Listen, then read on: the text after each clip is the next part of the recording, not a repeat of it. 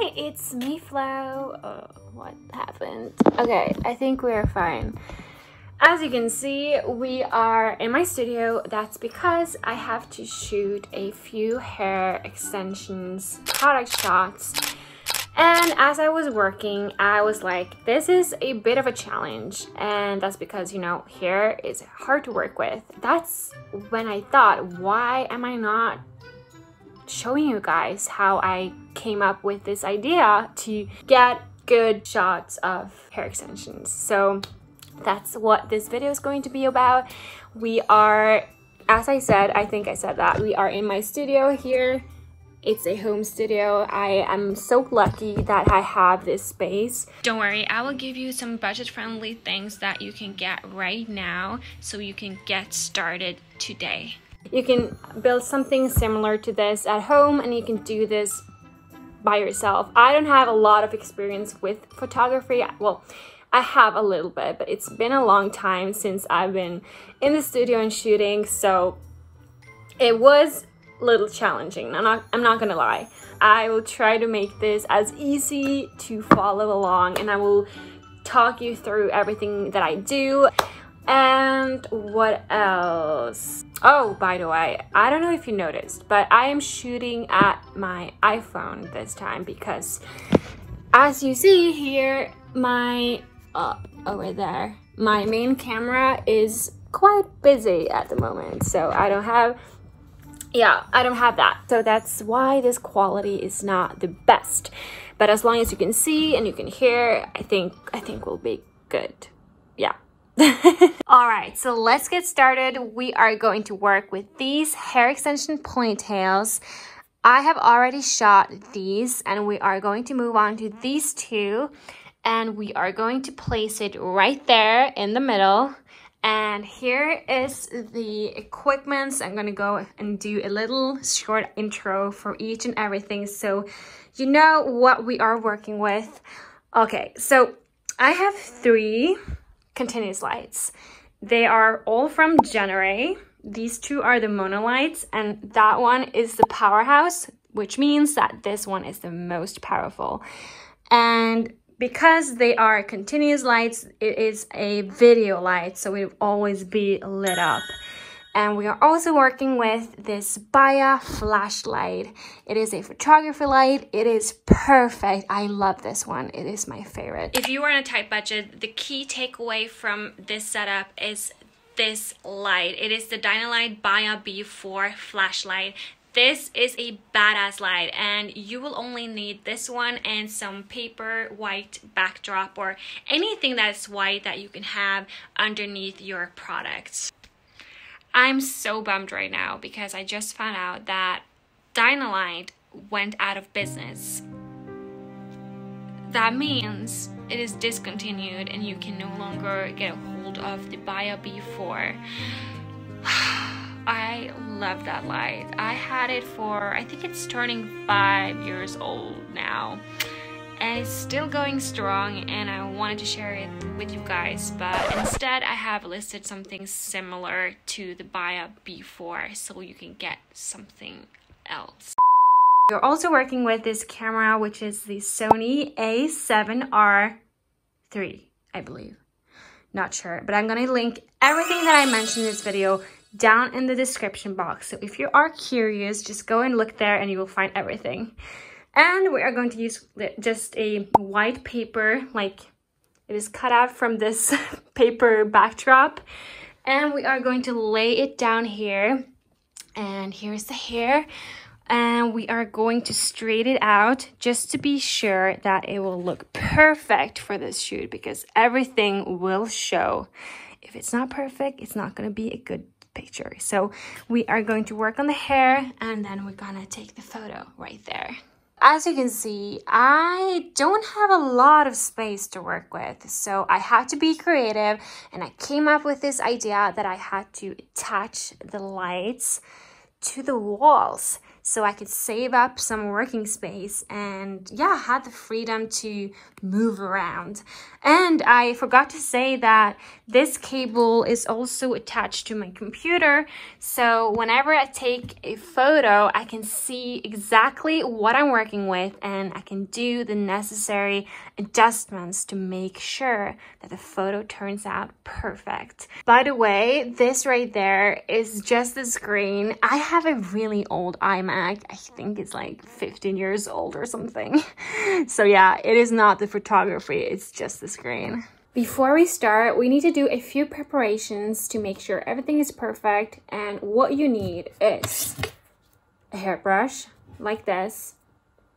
Google Translate says it's comb. I thought it was comb.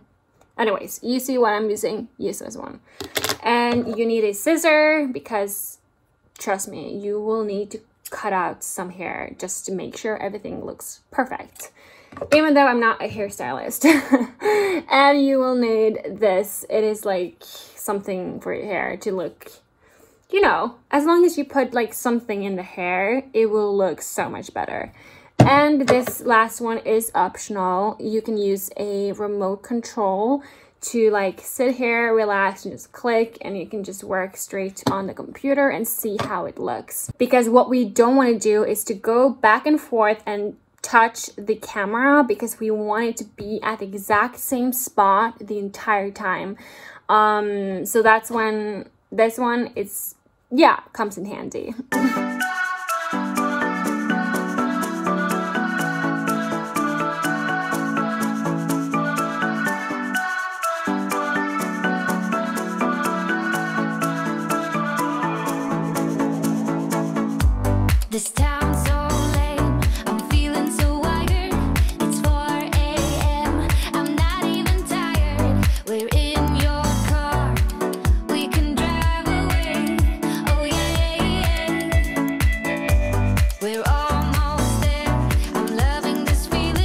Now, this is the tricky part, and you are going to spend a lot of time trying to figure out a way to style this hairpiece and you will need patience. I'm just gonna say it right now. I like to do this, but there's no right or wrong way to do this, but I like to wrap the hair, twist it like this a few times, drop it to the ground, and you kind of have this foundation you are going to work from.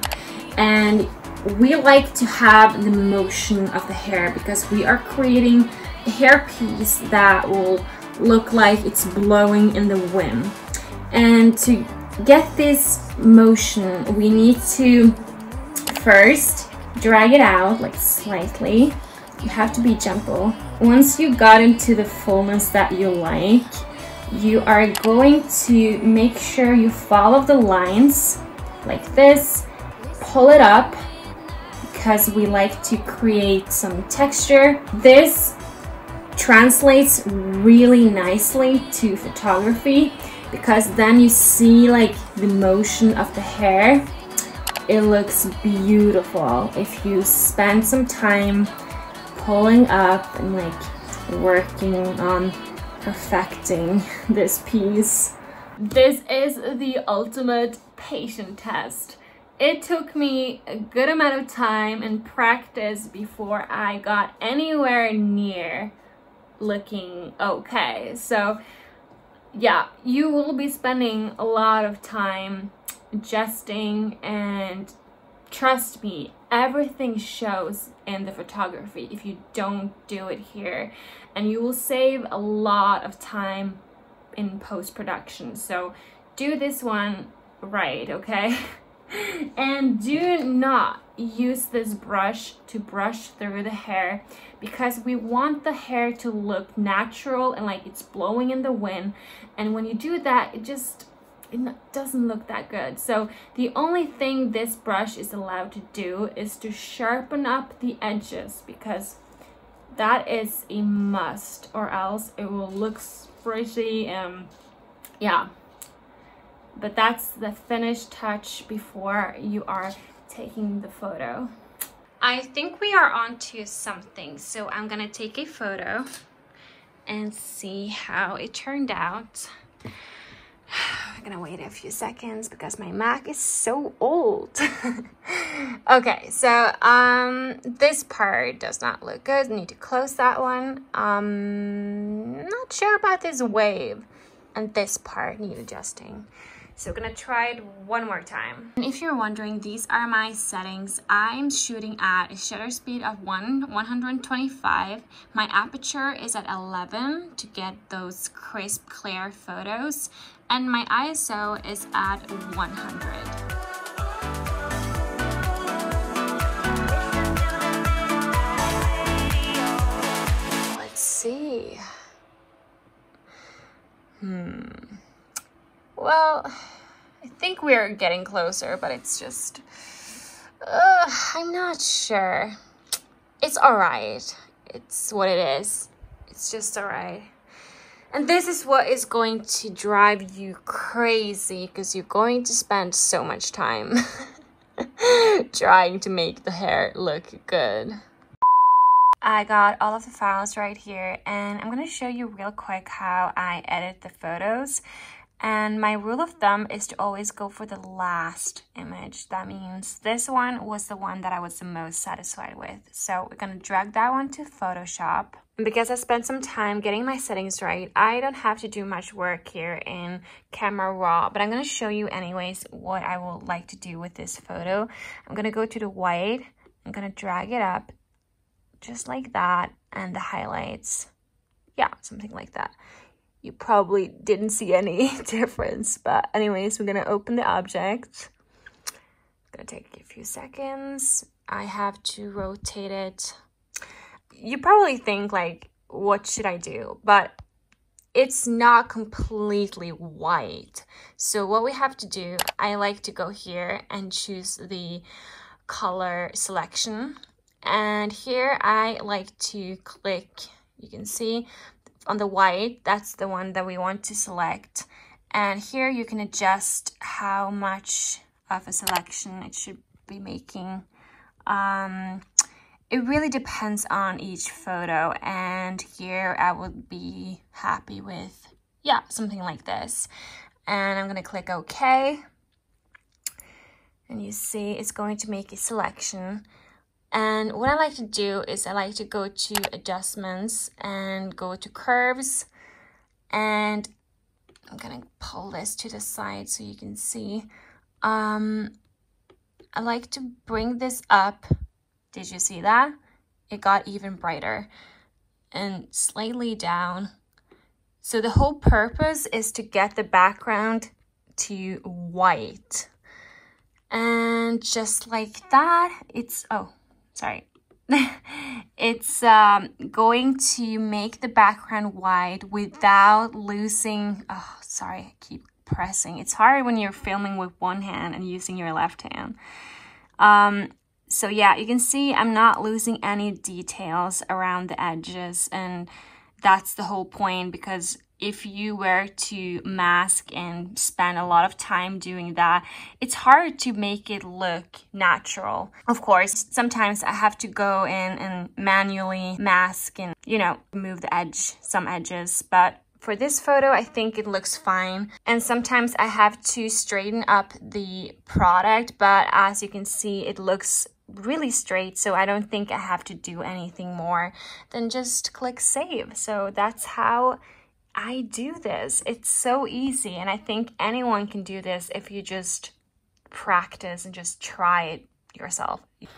I am so tired, so I am going to show you a few of my favorites that I've shot this far. And yeah, I am proud of what I've managed to do by myself here in my home studio.